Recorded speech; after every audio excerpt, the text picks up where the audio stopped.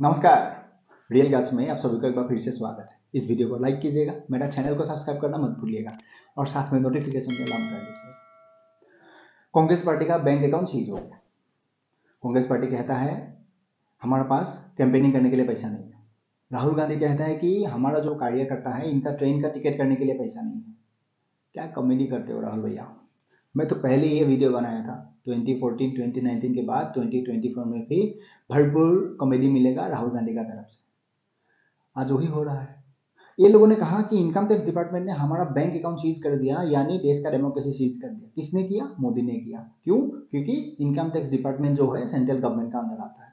तो central government यानी BJP जिसका लीडर नरेंद्र मोदी है तो इन्होंने डेमोक्रेसी को सीज कर दिया। बहुत बढ़िया भाई। लेकिन एक सवाल कांग्रेस जी को पूछना चाहता मुझे तो मालूम है ये वीडियो देखने के बाद कांग्रेस जी मुझे गाली देगा। लंबा लंबा भाषण देते हैं कांग्रेसी लोग। लेकिन ये जो कांग्रेसी लोगों को मैं पूछना चाहता हूँ, तुम हमें जो भाषण या ज्ञान देते हो, तुम अपना पार्टी को क्यों नहीं देते हो भाई? अगर इतना ही जानकार हो तुम लोग, इतना जानते हो तो तुम्हारा पार्टी को दो ना। काम आने वाला है। इनकम टैक्स डिपार्टमेंट ऐसे ही किसी का अकाउंट चीज़ नहीं करता है। देखो, इसमें कितना अमाउंट का है, क्या टैक्स एग्जामेशन है कितना इंटरेस्ट है, इसमें किसी को नहीं पढ़ना है। सरल भाषा जो है इनकम टैक्स का, वही है। अगर आप टैक्स स्लेब में आते हो, आपको टैक्स देना है। ये तो एक रूल है ना। उसके लिए इनकम टैक्स डिपार्टमेंट आपको डेट फिक्स करके देता है। उसके बाद वही इनकम टैक्स डिपार्टमेंट उस डेट को एक्सटेंड करके भी देता है। अगर आप उसमें भी नहीं भरते हो, उसके बाद भी आप भर सकते हो, जहाँ आपको पेनल्टी देना पड़ेगा। तो कांग्रेस पार्टी ने नहीं भरा। इसीलिए अकाउंट सीज कर दिया उसमें कितना करो क्या आना, क्या नहीं आना, उससे कोई लेना देना नहीं। है इनकम टैक्स का जो फॉर्मूला है देश भर में हर किसी को मालूम है। तुम टैक्स भी नहीं भरेगा, भाषण भी तुम ही देगा, तुम इल्ज़ाम भी दूसरा के तुम ही लगाएगा। ये तो नहीं होगा भैया। अच्छा कांग्रेस का एक एटीट्यूड है। कांग्रेस का एटीट्यूड ऐसा है कि कांग्रेस को लगता है, भाई, इस देश को हमने ज़्यादातर टाइम शासन किया है। हमारा घर में तीन प्राइम मिनिस्टर एक सुपर प्राइम मिनिस्टर बना है। हम अपना मर्ज़ी से टैक्स देंगे जब भी मन करेगा तब भी देंगे। इन्होंने नहीं भरा। क्योंकि कांग्रेस तो लोगों को वही दिखाता है ना, अगर जवाहरलाल नेहरू इस देश में पैदा नहीं होता, शायद आप और हम आज किसी अंग्रेज़ी का घर में गुलामी कर रहा होता। भारत आज़ादी नहीं होता। इस देश में नेहरू अगर पैदा नहीं होता, ये देश आज़ादी नहीं होता। ये कांग्रेस का एटीट्यूड है, मानसिकता भी वही है इनका। लेकिन आज मैं कांग्रेसी को पूछना चाहता हूँ।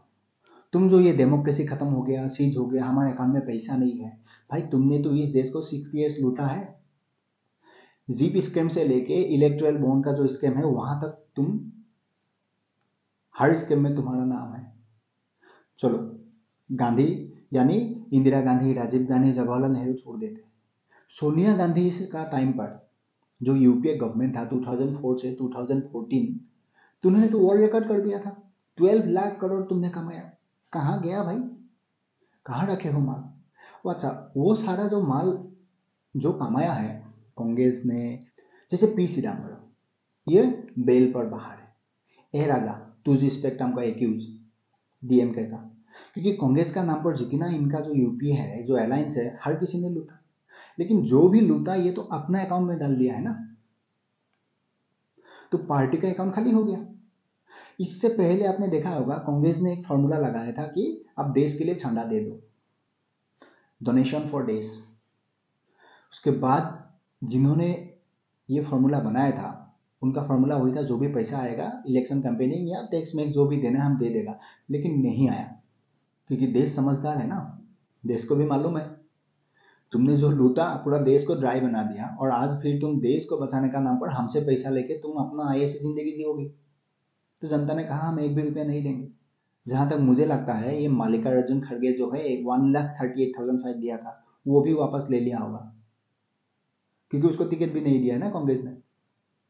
देखो, कांग्रेस का ये जो हाल है ना, आज पैसा नहीं है बैंक अकाउंट सीज हो गया, भाई, तुम टाइम पर टैक्स नहीं देगा, तुम्हें क्या गोल्ड मेडल देगा क्या इनकम टैक्स डिपार्टमेंट कांग्रेस ही तो हो भाई, जिन्होंने इस देश को सिक्स ईयर्स लूटा है, उससे ज़्यादा क्या क्या है? तुम्हें क्या ऐसा चाहिए कि देशवासियों का तरफ़ से कि भाई नहीं नहीं नहीं नहीं, हम कांग्रेस पार्टी है, हमें सारा फैसिलिटी दे दो।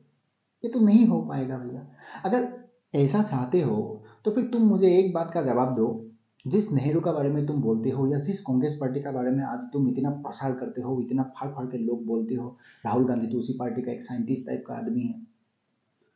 अगर मैं आपको दो तीन एग्ज़ाम्पल दूँ 1947 15 अगस्त में देश आज़ाद हुआ राइट उसी एरा में 1945 साउथ कोरिया आज़ाद हुआ। 1948 में इसराइल आज़ाद हुआ। 1949 में चाइना आज़ाद हुआ। ये तीनों देश आज कहाँ है? दुनिया का नंबर वन देश है, यानी डेवलप कंट्री साउथ कोरिया एक ज़माने में वर्ल्ड का सबसे ज़्यादा गरीब देश था। लेकिन आज, और भारत कहाँ रह गया? मुश्किल से टॉप टेन कंट्री में भी नहीं आता है। जी सेवन में नहीं आता है ना? जी ट्वेंटी में आता है। जी सेवन यानी वो सात कंट्री उससे तीन जोड़ दो जी टेन अगर आप मान भी लो, उसमें भी भारत नहीं आता है। ये तो कृपा है। 2014 में नरेंद्र मोदी प्राइम मिनिस्टर बना, उनका एक विजन था कि इस देश को आगे बढ़ाना है। थोड़ा बहुत कोविड नाइन्टीन का भी हेल्प हुआ, जिसके बाद हम खुद सेल्फ डिपेंडेबल बना, फिर जाके दुनिया का फिफ्थ लार्जेस्ट इकोनॉमी बना। अदरवाइज़ तो हमको कौन जानता था? क्या चीज़ को लेके जानता था? गांधी को लेके, नेहरू को लेके? नेहरू का दूरदर्शिता इतना ज़्यादा था। आज नेहरू ने जो किया, इंदिरा गांधी ने जो किया, यानी सिक्सटी ईयर्स में जो नहीं हुआ, आज एक आदमी अकेला कर दिया। इस देश में सबसे ज़्यादा एलपीजी कनेक्शन नरेंद्र मोदी ने दिया। इस देश में सबसे ज़्यादा रोड इंफ्रास्ट्रक्चर नरेंद्र मोदी ने बनाया। इस देश में हर गाँव में बिजली से जोड़ा, नरेंद्र मोदी ने जोड़ा। इस देश में सबसे ज़्यादा घर बनाया तो नरेंद्र मोदी ने बनाया। इस देश में सबसे ज़्यादा शौचालय किसी ने बनाया तो नरेंद्र मोदी ने बनाया। इस देश में सबसे सस्ते में आपको किसी को इंटरनेट डेटा दिया, वो मोदी जी ने दिया। इस देश में सबसे ज़्यादा रेलवे इंफ्रास्ट्रक्चर अगर डेवलप किया किसी ने, नरेंद्र मोदी ने किया मेट्रो का सबसे ज़्यादा काम नरेंद्र मोदी ने किया, फिर भी कहता है, ये आदमी डेमोक्रेसी को सीज कर दिया। लोगों को गधा समझते हो। तुम लोगों को पॉलिटिक्स करना नहीं आता, एक आदमी को सुबह से शाम गाली देते हो, और तुम्हारा जितना सपोर्टर है, तुम्हें अगर मैं सच्चाई दिखाता हूँ, तुम्हारा सपोर्टर मुझे गाली देता है। इसीलिए कहता हूँ भाई, अगर तुम इतने समझदार हो तुम तुम्हारा जो आइडिया है ना कांग्रेस पार्टी को तो जिस आदमी ने किया, उस आदमी का नाम लेने में तुम्हें शर्म आता है। और जिस आदमी ने इस देश को बर्बाद करके रख दिया, ये पूरा परिवार ने इस देश को बर्बाद किया। मैंने कहा ना 1945 से 1949 तक, बीच में भारत भी है 1947 में इंडिपेंडेंट हुआ। सार देश, ये सार देश ही लेता हूँ। वो तीनों देश कहाँ पहुँच गया, हम कहाँ रह गया? क्यों? अगर जवाहरलाल नेहरू का इतना दूरदर्शिता था तो हम क्यों आगे नहीं बढ़ा भाई? जवाहरलाल नेहरू ने जितना एम्स बनाया, जितना आई बनाया, नरेंद्र मोदी ने दस साल में उससे दो गुना ज़्यादा बनाया। दो गुना क्या? तीन चार गुना ज़्यादा बनाया। सिक्सटी ईयर्स में कांग्रेस ने जो आईआईटी नहीं बना पाया, मोदी ने अकेला बना दिया। जितना एम्स सिक्सटी ईयर्स में इन्होंने नहीं बनाया मोदी ने अकेले बना दिया। और फिर कहते हो, मोदी जी ने इस देश को लूट लिया। लूट लिया तो बहुत बढ़िया क्या। अगर लूटने के बाद वो आदमी देश का काम कर रहा है, हर देशवासी को कहता हूँ, मोदी का अकाउंट में पैसा डाल दो। डाल दो, जितना पैसा है मोदी का अकाउंट में डाल दो, क्योंकि वो आदमी देश के लिए करना चाहता है। डेढ़ सौ करोड़ के लिए करना चाहता है, किसी परिवार के लिए नहीं। और तुम जैसे ये डेमोक्रेसी को कांग्रेस अकाउंट के साथ जोड़ रही हो ना, तुम्हारा दिमाग ही इतना है, तुम, अब क्या बताऊँ? तुम्हें समझ ही इतना है। Congress party bank account seize हो गया तो डेमोक्रेसी से क्या लेना देना है भाई? अगर तुम इतना सही होता, दिल्ली हाईकोर्ट ने तुम्हें फटकार क्यों लगाया फिर? तुम तो कहते हो ना डेमोक्रेसी को बचाने वाला तुम्हारा जुडिशरी सिस्टम है। तुम बहुत मानते हो जुडिशरी सिस्टम को। तो दिल्ली हाईकोर्ट ने क्यों मना कर दिया? सुनवाई करने में? देखो इनकम टैक्स का फॉर्मूला देश भर में हर किसी को मालूम है। तुमने क्या घोटाला किया, वो तो मैंने निकाला ही नहीं। वो निकालूँगा तो अगला चुनाव में जितना वोट तुम्हें मिलना था ना, वो भी नहीं मिलेगा। मुद्दा लेके लोगों का पास जाओ। ये कॉमेडी ये ड्रामा बंद करो। इससे कुछ होने वाला है नहीं। देखो, इसमें सीधा बात एक ही है। आखिर में उड़ कह के मैं वीडियो खत्म करता हूँ। अगर कांग्रेस का पास इतना ही पैसा नहीं है, कांग्रेस पार्टी का पास तो बारह लाख करोड़ तुमने चोरी किया है ना? पूरा यूपी अलायंस मिल गया। निकालो, निकाल के खर्च करो करके अपनी दम पे सरकार बना लो। अगर देश ने चाहा तो जीत जाओगे, नहीं चाहा तो फिर वही हाल होने वाला है। कम से कम एक बार निकालो। क्या करोगे? मरने का टाइम पे तो लेके नहीं जाओगे। हो सकता है तिहाड़ जेल ही चला जाओगे, आधा से ज़्यादा। काफ़ी सारा तो बेल पर ही बाहर है ना? अब तो दिल्ली हाईकोर्ट ने भी बोल दिया कि तुझे स्पेक्ट्रम का केस सीबीआई को, फिर से इन्वेस्टिगेशन कर दो। वही है राजा। हिंदुओं को भी कहता था ना? आज उसको भी मालूम पड़ेगा आगे। देखो, ये सब ड्रामा मत करो। पॉलिटिकल पार्टी हो पॉलिटिक्स करो। अब कांग्रेस पार्टी को तो ये सब ड्रामा करना ही नहीं चाहिए। खुले हम कांग्रेस पार्टी को कहना चाहिए हाँ हमने बारह लाख करोड़ कमाया, इसीलिए आज हम खर्च कर रहा है। फ़र्क ही नहीं पड़ता इनकम टैक्स डिपार्टमेंट हमारे अकाउंट को सीज कर दे या नहीं कर दे। बड़े दिल दिखा दो यार। कम से कम देशवासी थोड़ा बहुत बहुत ज़्यादा दे दे। वरना ऐसा ना हो कि अगला राहुल गांधी कह दे कि, भाई, मैं तो इलेक्शन हार गया, मुझे इताली जाना है प्लीज़ देशवासियों, थोड़ा पैसा दे दो, मुझे फ़्लाइट का टिकट करना है। हालाँकि सोनिया गांधी के पास इतना पैसा है, वो तो पूरा देश को ही खिला सकता है। इतना कमा के रखा है। गांधी खानदान ने जितना कमाया है, ये पूरा देश को मैं तो मानता हूँ, महीना भर खिला पाएगा। ये तो हर किसी को मालूम है। लेकिन पार्टी का नाम पर रो रहा है। इसे रोते रोते बर्बाद हो जाओगे। अगर सर्वाइव करना चाहते हो, जनता के बीच में जाके कुछ करो। उसी से कुछ होने वाला है। अदरवाइज़ कुछ नहीं होने वाला है। वही था मेरा संवाद। आज आप तक पहुंचाना।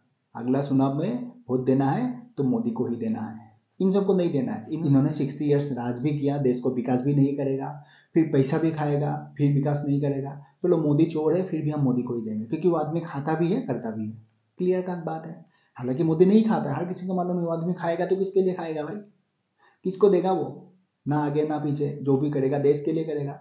फिर भी हम कहते हैं, बीजेपी करप्ट है, फिर भी हम उसी को ही देंगे, क्योंकि वो पैसा खा के भी देश के लिए कर रहा है। क्लियर कट पिक्चर है। समझ में आया? तो बहुत बढ़िया। नहीं आया तो आगे समझ में आ जाएगा। और ये जो जाहिलो कमेंट जो देते हो ना, थोड़ा ढंग से दिया करो कि पढ़ने के बाद लोगों को भी लगे, यार, तुम्हारे एक स्टैंडर्ड है? पढ़ना समझ में आ जाता है तुम भी उसी लाइक के हो। और आखिर में और एक बात कहता हूँ, आज एक पिक्चर देखा। अरविंद केजरीवाल, यार, दिल्ली का चीफ मिनिस्टर है, जर्मनी को आग क्यों लग गया? उसका भी एक कहानी है, जो मैं अगला वीडियो में आपको ज़रूर समझाऊँगा। मिलते हैं नेक्स्ट वीडियो में। तब तक आप आपका ख्याल रखिएगा और खुश रहिएगा।